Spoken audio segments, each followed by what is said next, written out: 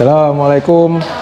So hari ni uh, aku kebetulan dekat KSH uh, Bagan. Jadi aku nak review satu bicycle yang uh, memang best lah iaitu uh, Cervelo S5.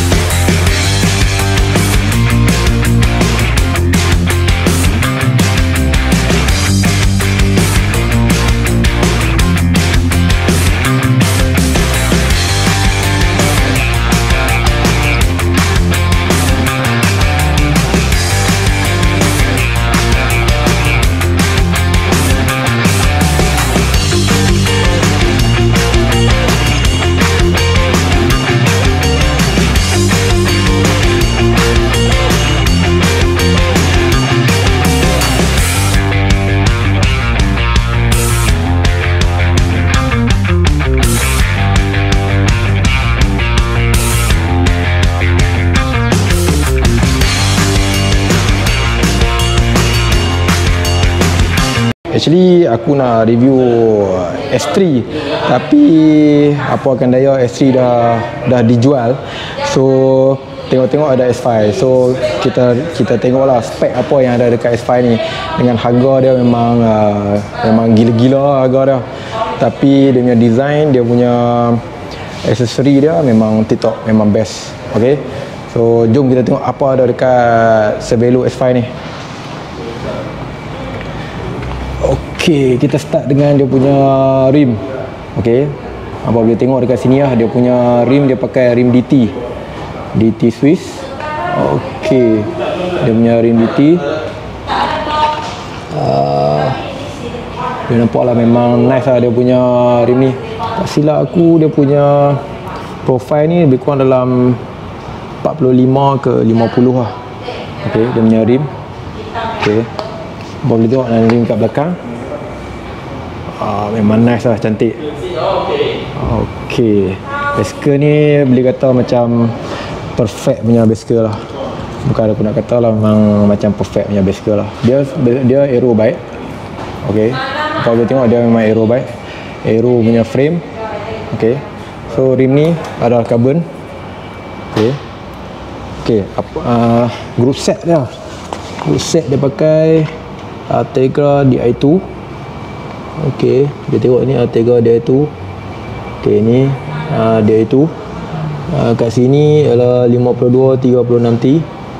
Okey, 52 36 Artegra. So tak payah risaulah pasal kabel lah dan sebagainya sebab memang uh, bicycle ni tak uh, paling kurang kabel lah. Okey. Okey. Jom kita tengok lagi. So ni Adi belakang lah. Adi belakang pun sama. Okay. memang dia itu punya. Uh, memang best lah kalau pakai dia itu ni. Alright. Lagi satu dia punya hub. Kita tengok hub. Hub, hub DT Swiss. Di iCard. Oh di iCard. Ok di iCard. Ok DT Swiss di iCard. Ok kemudian uh, tayar pula dia pakai Grand Prix. 4000 25mm so kalau beli bicycle ni memang tak payah tukar tayar lah. Memang uh, dia bagi untuk untuk tayar yang memang elok lah. Ok kemudian uh, kita tengok dia punya shifter. Shifter Altegra juga. Ok ok yang paling uh, menarik sekali ya dekat uh, Cervelo S5 ni adalah dia punya dia punya handlebar so handlebar dia memang unik lah yang ni hanya ada dekat Cervelo saja. Okey. Yang ni hanya ada dekat Cervelo. Memang best lah dia punya handlebar ni. Lain pada yang lain. Okey, kita boleh tengok. Handlebar dia memang best. Okay. So bicycle ni belum pasang lagi lah batik dan sebagainya sebab uh, tunggu pembeli dia. Siapa beli baru akan pasang. Uh, kabel ni pun sama lah. Tunggu beli baru baru owner kedai akan pasang lah. Okay, apa tengok dia punya uh, sipos. Sipos pun carbon. Okay, Svelo punya sipos. Okay, and then uh, dia bagi kita apa dia saddle pro logo. Okay, saddle pro logo. So memang best. Okay, ini adalah satu-satunya bicycle yang dites dalam uh, uh, wind tunnel. Okay, yang dites dalam wind tunnel untuk bicycle ni saiz 48. Okey bagi ketinggian yang macam aku ni 171 perlu saiz uh, 51 lah. So kalau saiz uh, ini memang sesuai untuk 165 macam tu sesuai lah. Uh, okey. So bicycle ni belum berpunya lagi.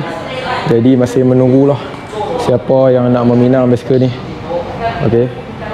Uh, okey.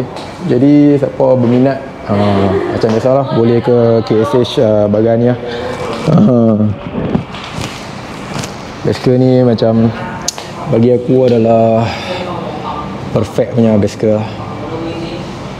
Aish, aku tengok pun gerama macam ni. Tapi Ay, harga dia boleh tahan lah Nice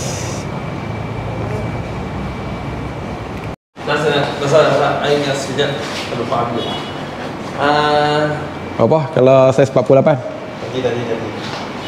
Ah, kita tanya owner sendiri. So dia punya height 48 Boleh bagi 170 Bawah yang orang pakai. Oh ini 170 bawah lah 170 bawah So you nak 171 You boleh pakai 50 uh, 51 lah. 51 lah. Uh, Because dia punya geometrik sini Dia punya itu tilt sini dia rendah sikit. Okay So dia punya top tilt lah. Sekarang ini 48 Dia punya seat tilt sini 42 Okay. Dia punya top tilt 518 je. Oh. Hmm. So yang memang you kira pendek sikit lah. So you compare dengan Lemon Aero Bike Dia lagi kecil sikit. Lagi rendah. Apa apa dia punya advantage dah kalau ni? Lagi kecil lagi rendah? Kecil lagi rendah. Lagi laju lah. Lagi, lagi Aero lah Sekarang, sekarang, lah Dia sini dia tengok Lemon Aero Dia banyak buat sini. So dia uh, X5 dia sini Dia boleh buat uh, solo ride. Oh. Solo ride lagi spin. So banyak customer review balik. Ini dia cramping ha. Hmm. hmm. Teruk sangat. Oh ini ni Aero bike ah, cakap cramping dah. Hmm, okay. Dia memang teruk. Tapi I customer Penang Island ni ah, Hmm. Dia ada body ni. Semua recommend cakap Dia memang cramping tak teruk.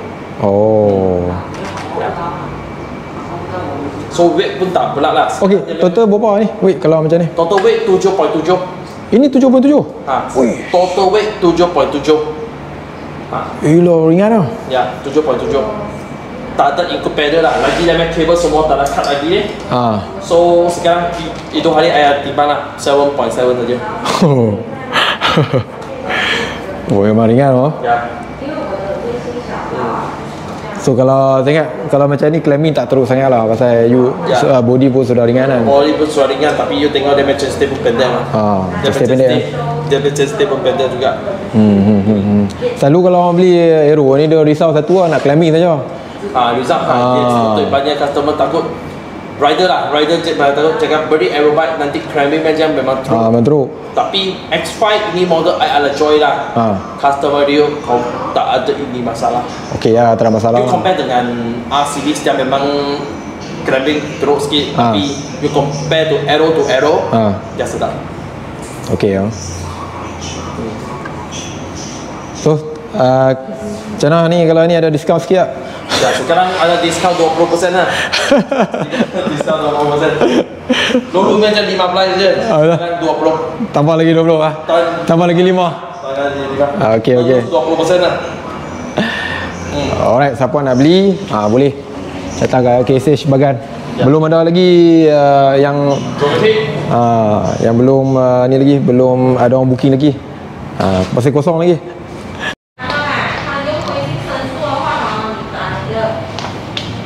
Okey, so itu sedikit sebanyak daripada aku lah untuk uh, Cervelo S5. Fuh, bagi aku memang uh, cantik lah. aku kenal dengan dia punya handlebar ni. Tapi nak buat macam mana harga dia pun memang cantik juga.